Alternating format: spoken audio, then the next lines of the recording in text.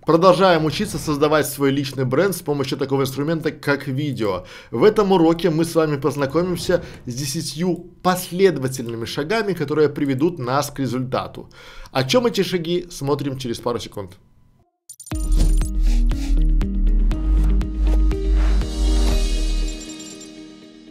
Все мы знаем, как я люблю стратегию маленьких шагов. Шаг за шагом к результату.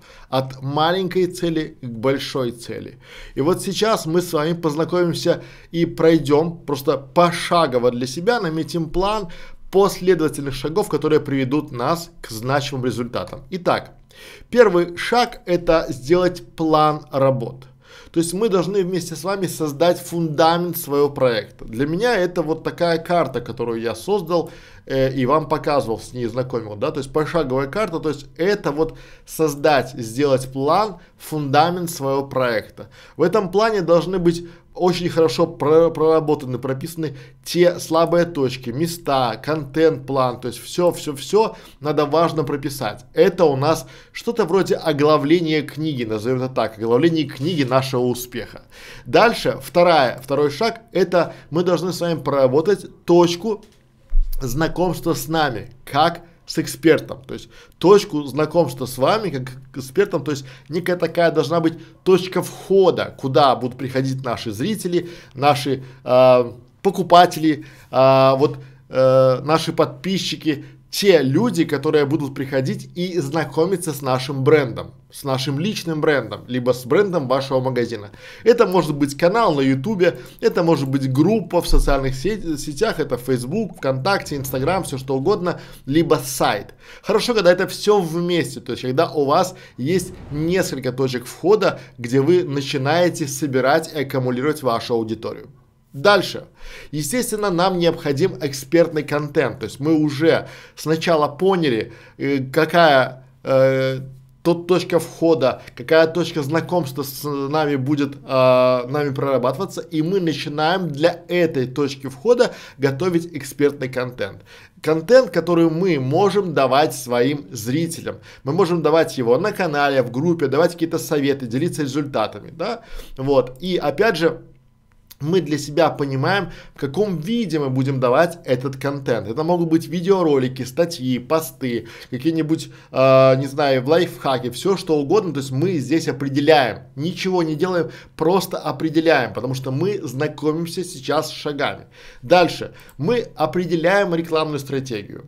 Вот очень часто люди пытаются, они думают, что если они сделали какой-то классный контент, то тут же набежит огромное количество читателей, зрителей, э, подписчиков и начнет лайки смотреть. Нет, друзья мои, здесь надо опять же определить, какую первичную рекламную стратегию вы для себя изберете. Это может быть RCA, это рекламная сеть Яндекса, либо Google Ads все что угодно. То есть в начале пути вам для развития вашего личного бренда всегда необходимо будет немножко поливать рекламным трафиком, чтобы люди начинали о вас узнавать. То, что вы хороший, классный эксперт, то, что вы можете давать классные советы и о вас знает 5, 20, 30 человек, это вовсе не значит, что они будут делиться и рассказывать о вас как о специалисте. Вовсе нет. Итак, после того, как мы уже для себя, разобрали экспертный контент, который будем делиться, определили рекламную стратегию, мы начинаем консультировать. И это вовсе не обязательно, что мы там раз, делаем большую деятельность, делаем себе лендинги. Мы просто предлагаем людям в качестве э, за отзыв, за какой-то э, взаимопиар там, да, то есть давать консультации. Это может быть все что угодно. Вы даете классные консультации о том, как, как выйти замуж, пожалуйста, давайте это бесплатно и получайте обратную связь. Вы рассказываете о том, как правильно настроить какой-нибудь рекламный кабинет, опять же, давайте и расширяйте. То есть люди очень любят получать бесплатные консультации. Слово бесплатное здесь очень важно, потому что многие сразу хотят перейти из бесплатной консультации в платные друзья мои, я два года делал бесплатные консультации. А, у меня есть, я поделюсь в следующем видео, в одном из видео, я поделюсь с вами просто чек-листом, скриптом э, бесплатной консультации, где вы за 15 минут поймете для себя, насколько важен вам этот подписчик, зритель или будущий клиент это, или просто проходящий мимо э, шаромыга, по-другому не назвать, да, то есть и здесь важно, то есть вот важно, что когда вы начинаете консультировать, то даже ваш пост, ваш ответ в Фейсбуке, ВКонтакте, в Инстаграме кому-то, это тоже является прокачкой вашего личного бренда. Потому что когда вы приходите в сообщество, где идет обсуждение, э, допустим, про YouTube, про способы продвижения, про способы монетизации, я очень часто там, если чувствую, что мой совет будет уместен и есть на него запрос, могу дать совет и опять же проконсультировать человека, даже он, он даже не поймет, что это консультация, потому что я дам ему совет, при помощи которого его канал, либо его видео может стать лучше. Используется он или нет им, это его личное дело, но опять же консультации, это опять же такой очень хороший формат взаимодействия. То есть люди должны ассоциироваться с вами, что у них, если есть какая-то проблема, вы тот эксперт, вы тот человек, который может решить эту проблему. Люди никогда не запоминают там симпатичны вы либо нет, они воспринимают вас, сможете ли вы решить эту проблему, когда она возникнет еще раз или нет. И, или они могут вспомнить вас как эксперта либо специалиста по решению тех или иных болей, проблем и поделиться вашим профилем, вашим аккаунтом, а, вашим а, YouTube каналом где-то а, у себя в сообществе. Дальше. Внимание! Мы делаем консультации, обязательно мы делаем консультации с отзывами. Почему? Потому что многие делают консультации и ждут, что люди сами напишут о них отзыв. Друзья мои, пока вы не попробуете, пока вы в самом начале это не потребуете, вот ключевое слово потребуете. То есть, если вам понравится моя консультация, я попрошу о, о, вас, э, с вас там отзыв или видеоотзыв. Я сейчас, э, небольшой лайфхак вам сразу, я сейчас изначально говорю, что вы получаете запись нашей консультации после того, как я увижу отзыв о себе или о своей консультации. Да, это буквально, буквально в смысле слова, мы требуем отзывы, потому что очень часто люди, получив от нас ответ на свой вопрос, либо решение их проблемы, либо способ решения их проблемы, они просто уходят и забывают, потому что они, в принципе, да и мы в том числе, очень часто думаем, сейчас вот мы напишем отзыв, потом некогда, потом завтра, потом то. Друзья мои, отзывы собирайте о себе, вот буквально, да, кому-то дали классный совет, Сережа, напиши мне отзыв. Кому-то помогли в, не знаю, построить гараж, да, пусть напишут, то есть отзывы собирайте об эксперте, о себе, то есть начинайте аккумулировать отзывы о себе, потому что это та коллекция, которая будет отрабатывать те самые возражения. Дальше, друзья мои, следующий шаг это коллаборации. Когда вы начинаете уже светиться в социальных сетях, уже у вас есть некий бэкграунд, у вас уже есть группа подписчиков, там 3-5 тысяч людей, а, к вам будут приходить люди для коллабораций. Ну, они будут говорить о том, что им важно ваше мнение как эксперта, по сути, они будут вам врать. Им очень важно будет ваша аудитория, чтобы распределить свои, э, скажем так, знания, свою ауру, свой личный бренд на вашу аудиторию и, скажем так, за э, бесплатно, потому что коллаборация очень часто это не вы мне, я тебе, а, рассказать о себе как о бренде вашей аудитории.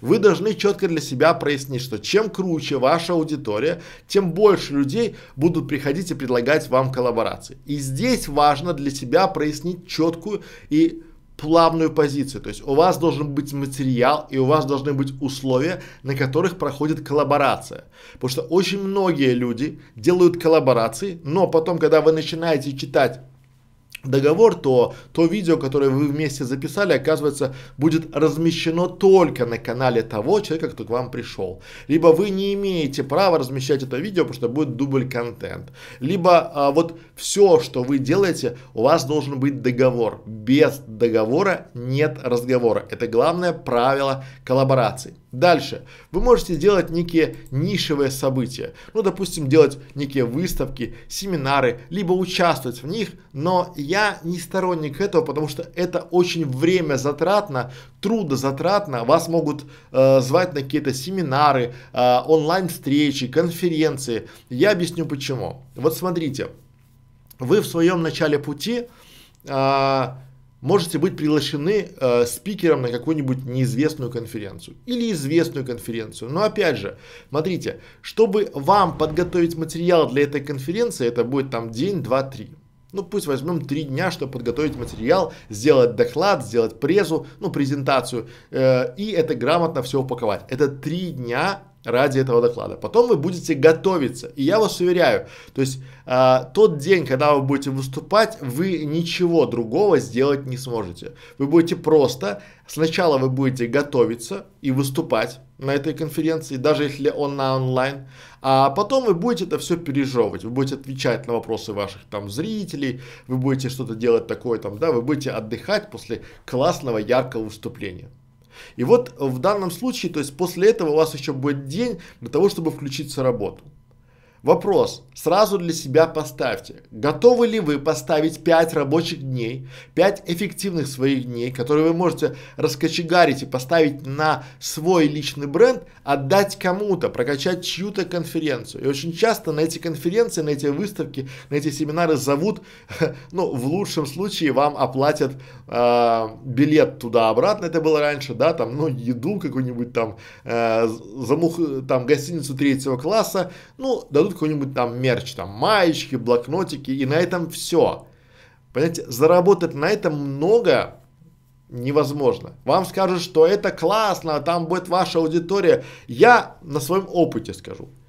10 лет я посещал всевозможные семинары, э, выставки, там вот эти конференции. Туда приходит в основном огромная масса людей, которые не готовы покупать мои консультации, допустим, за деньги. Они приходят в надежде, что они якобы со мной познакомятся, там за э, коллаборируются и качнут инфы. То есть туда приходит вот эта вся тусовка, это тусовка качателей бесплатной халявной инфы. Знаете почему? Потому что у людей, которые заняты настоящим серьезным бизнесом, у них есть свой нетворкинг, и они мало посещают такие вот предприятия, такие конференции. Это больше похоже на такую тусовку, где ты мне, я тебе, и где все пытаются качнуть какой-то инфы.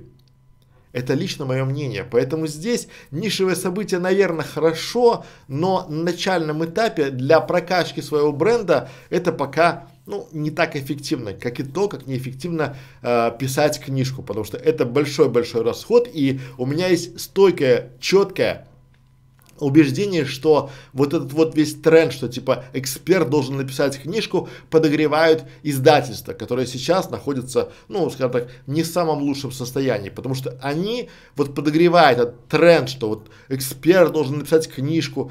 Книжка, друзья мои, это очень э, время затратное, ресурсоемкое и финансово емкое занятие. И очень часто вы, когда даже напишете книжку, вы поймете, что люди, которые говорили, ой, да-да-да, жду вашу книжку, они ждут ее не на полках магазина, а где-нибудь на складчинах, чтобы скачать, ну и даже не прочесть, потому что прочесть это время, это скучно, это некогда. Поэтому относитесь к этому серьезно. Дальше. Что бы я еще хотел вам сказать? Вы сверкаете, где можно и где нельзя. Вот важное слово, где нельзя. То есть вы можете создавать очень классные видеоролики, вы можете создавать очень классный контент э, с такими трендовыми запросами. Например, вы учите людей правильно говорить, либо вы учите а, английскому языку. Нет ничего проще. Создайте 50 там 5 профессий, которые могут вам, э, где может вам пригодиться английский язык и делайте каждый день по одному видео по этим профессиям. Вы можете создавать, допустим, самые обеспеченные, самые там высокооплачиваемые профессии в любой нише. Почему? Потому что это то, что люди нажимают. То есть, как зарабатывать 40 долларов в час, работая, не знаю, репетитором по математике. Вы же никому не скажете о том, что вы зарабатываете 40 долларов в час, но один час в месяц, потому что у вас есть специфический или очень особенный ученик, который приходит к вам заниматься из Соединенных Штатов Америки, и вот именно к вам, и именно он платит вам 40 долларов в час. Все остальные платят вам гораздо меньше. Но какая кликабельная обложка. Вы скажете, это немножко неправильно, и это делать нельзя, друзья мои прокачка своего личного бренда – это то, что приносит вам узнаваемость, это то, что приносит вам охват. И здесь вы, если видите, что э, у вас есть о чем поговорить, именно поэтому мы будем делать отдельный канал, свой канал, где вы будете, и я в том числе, будем рассуждать о жизни своей, там, да, то есть такой небольшой, там, допустим, Некрашевич лайф, для чего? Для того, чтобы мы на этом канале также собирали запросы.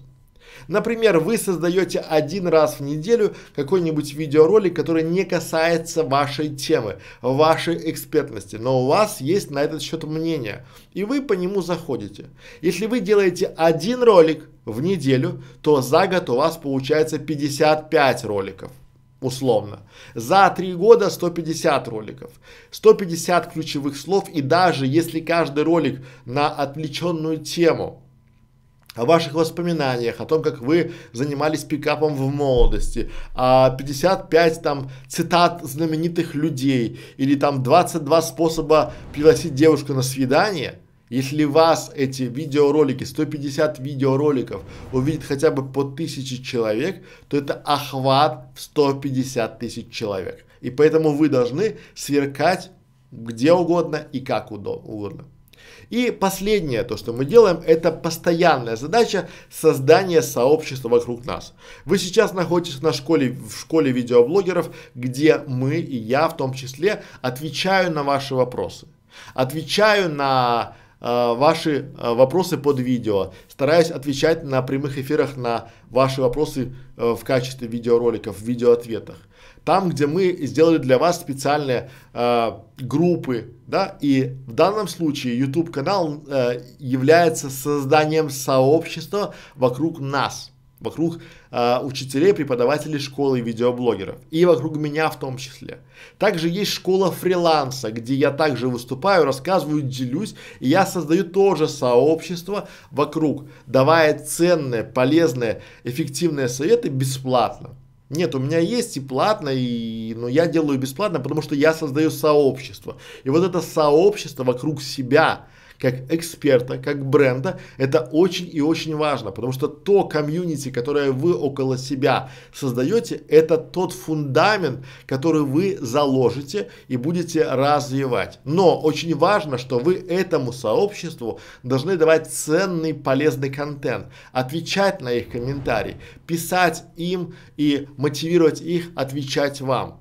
Почему? Потому что если вы считаете, а многие считают, что главное, вы даете контент и вокруг себя собираете сообщество, нет, люди часто забывают. Если вы не будете в информационном поле более там, э, там двух-трех месяцев, то о вас точно забудет половина. Через полгода о вас уже не вспомнит и никто. А через год вы можете забить на себя, на канал, на все остальное, потому что вам надо будет делать все заново. Думаю, что был вам полезен и эти 10 шагов откликнулись у вас. Не забывайте поставить лайк этому видео, подписаться, потому что мы дальше будем разбирать шаг за шагом э, от, тот формат, как правильно создать свой личный бренд с помощью видео. Если у вас есть свои замечания, пожелания по этому уроку, можете написать их под видео, а мы продолжаем.